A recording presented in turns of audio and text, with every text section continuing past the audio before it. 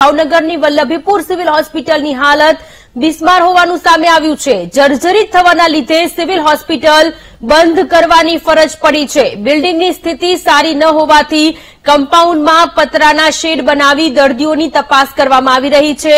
તો હોસ્પિટલમાં ડોક્ટર સહિત સાધનોની પણ અછતથી દર્દીઓ પરેશાન થયા છે.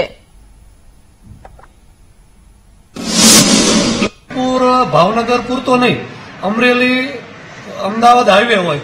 અને અહીંયા લગભગ વલભીપુરમાં રાતના તમે જુઓ ને તો લગભગ ચારસો થી પાંચસો બસો પ્રાઇવેટ બસો અહીંયા હાલતી હોય ને અવારનવાર એક્સિડન્ટ થતા હોય. તો અહીંયા છે ને એપી સેન્ટર છે. અહીંયા કદાચ ડોક્ટરો ન આવતા હોય ને અને કદાચ ન હાજર રહેતા હોય કે ડેપ્યુટેશનમાં હોય, તો વધારે અહીંયા હાજર રહે ને તો વધારે સારું. કારણ કે બીજા નાના સેન્ટરમાં તો અહીંયા વાંધો ન આવતો હોય. પણ અહીંયા વલભીપુરમાં હાઈવેનું ગામ કહેવાય. અહીંયા એટલું બધું ટ્રાફિક રહેતું હોય અવર જવર એટલી બધી થતી હોય. અને વાત કરું આ બિલ્ડિંગની, તો ઘણા ટાઈમથી બિલ્ડિંગનું કામ પણ ખોરમ પડ્યું હતું. એટલે પૂછવું આવ્યું કે સાહેબ, કયા લેવલે પડ્યું છે? જ્યાં અમારી જરૂર પડતી હોય, ત્યાં અમારો સહકાર રહેશે. પણ વહેલી તકે વલભીપુરને વલભીપુરના જનતાને અને તાલુકાને અને અહીંથી જે કંઈ રાહદારી નીકળતા હોય, એને એની સારી એવી ફેસિલિટી મળે. એટલા માટે આજે મેં એમની મુલાકાત લીધી છે. સંવાદદાતા નીતિન સોની આપણી સાથે ફોનલાઈન પર જોડાયેલા છે. નીતિન, ભાવનગરની વલ્લભીપુર સિવિલ હોસ્પિટલની હાલત બિસ્માર છે. પતરાના શેડ નીચે દર્દીઓ સારવાર લેવા માટે મજબૂર બન્યા છે.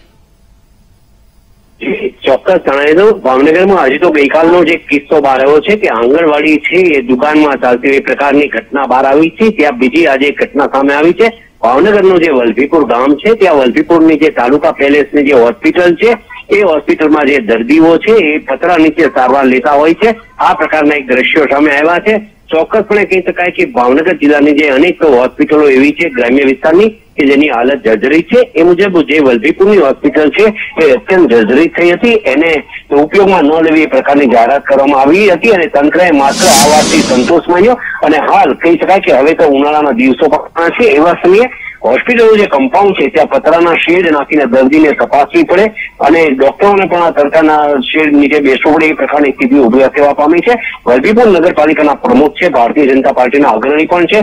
તેમણે આ મામલે ઉચ્ચ કક્ષાએ રજૂઆત પણ કરી છે. તેમ છતાં હજી નવી હોસ્પિટલ બનાવવા માટેની કોઈ કાર્યવાહી હાથ ધરવામાં આવી નથી. જી. નીતિન, ઘણા બધા દર્દીઓ સાજા થવા માટે હોસ્પિટલમાં આવતા હોય છે.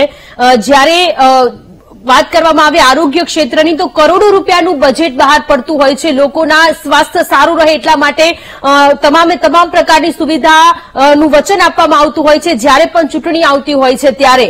પરંતુ આ પ્રકારની સ્થિતિ ખૂબ ગંભીર છે. દર્દીઓ સાજા થવા માટે આવે છે, બીમાર પડવા માટે નથી આવતા હોસ્પિટલમાં.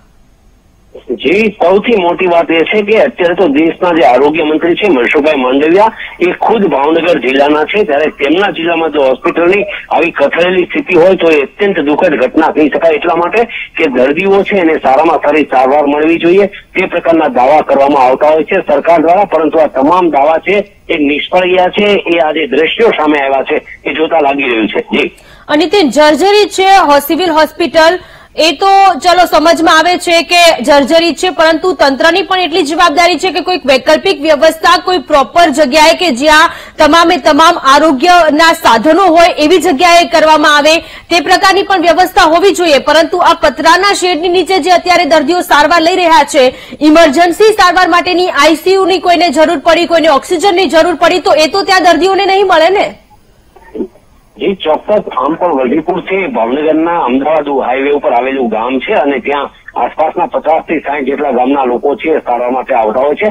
સામાન્ય રીતે પણ જયારે મોટો અકસ્માત થતો હોય છે, ત્યારે દર્દીઓ ઈજા પામતા હોય છે. એ લોકોને તાત્કાલિક અસરથી વલભીપુરમાં કોઈ સારવાર થતી નથી, તેમ કરીને ભાવ ધકેલી દેવામાં આવે છે. એટલે ચોક્કસ કહી શકાય કે હાઈવે ઉપરનું આ ગામ છે, બહુ મહત્વનો તાલુકો છે. તેમ છતાં આરોગ્યની સુવિધાના નામે મીંડું છે. એ ભાવનગર તો ઠીક છે, પરંતુ રાજકીય ક્ષેત્રે પણ જે લોકો છે, એમનું પણ કઈ ઉપર ઉપજતું નથી તેવું સ્પષ્ટપણે દેખાઈ રહ્યું છે. જી, નીતિન, આભાર તમામ વિગતો માટે.